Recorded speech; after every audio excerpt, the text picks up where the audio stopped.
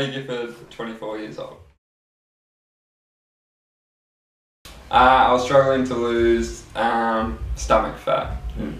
as a predominant goal. Because you are pretty lean. Yes, yes, I feel like.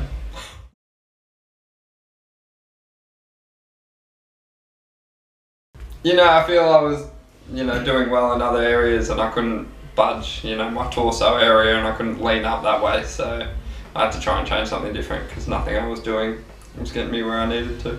How did that feel emotionally or mentally? Not too bad, you know, not, no, it's not the end of the world. That's not. Yeah. Yeah, just something to strive towards. Yeah.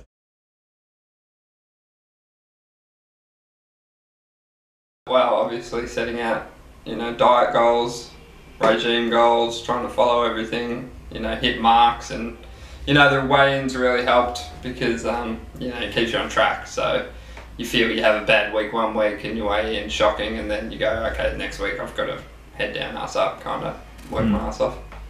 Yeah. Then nutrition. Yeah. Yeah.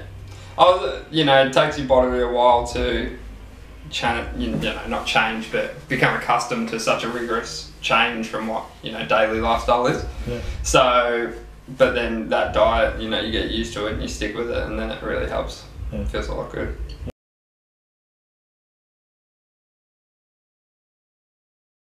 Really good. Really good. I've leaned out around the torso area and finally starting to see the results that I want. That's, what I wanted. Good.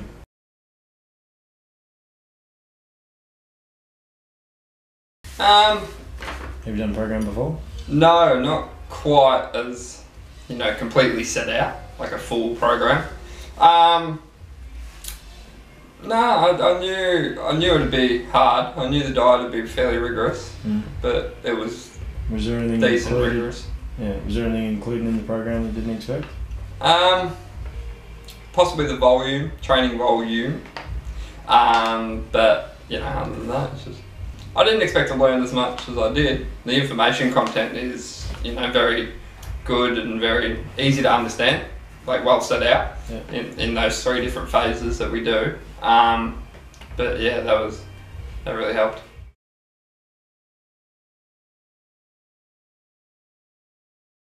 Everyone, I think you you know you customize to every client and you know what their goals are and what they need and I feel yeah I tell everyone to come here. Yeah. Sweet.